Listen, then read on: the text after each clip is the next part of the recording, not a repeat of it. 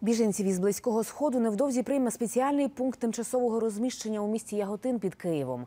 Утримуватимуть їх за рахунок українського бюджету. Чому держава бере на себе такі видатки у той час, коли власним переселенцям бракує коштів? З'ясовувала Ірина Камінська.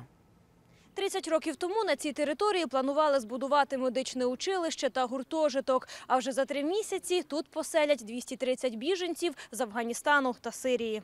Місцеві мешканці сусідам біженцям не раді. Люди панікують і переживають за власну безпеку. Що ми з цього матимемо? Нічого ми не матимемо. Ми тільки різні болезні заведуть.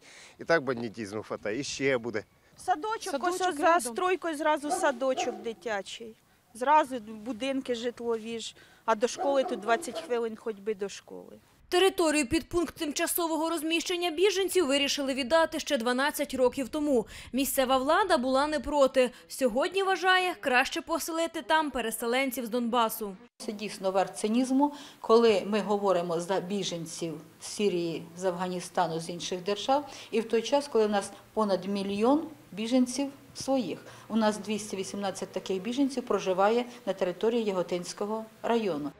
Переселенка з Авдіївки Дарина Хілай витрачає всю зарплату лікаря – 2 тисячі гривень на оренду квартири. Родина живе за рахунок чоловіка.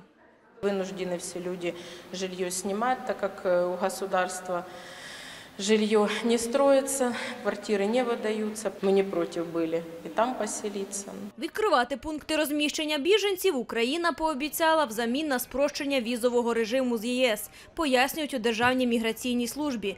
Тих, кому дадуть тимчасовий притулок, державні органи ретельно перевірятимуть. даємо направлення на поселення в такий пункт, то е, найбільш вразливі категорії е, біженців або шукачів захисту це сім'ї, де є діти і багато дітей, це одинокі жінки або одинокі матері, е, це жертви насилля, тортури, нелюдського поводження. На проживання та харчування одного біженця з держбюджету виділятимуть 30 гривень на день. Ремонт будівлі теж за рахунок держави. Ще 30 мільйонів. Решта – коштів з ЄС. Кімнатки для проживання в- вміщують собі ем, санвузол. От, кухня буде одна на етаж.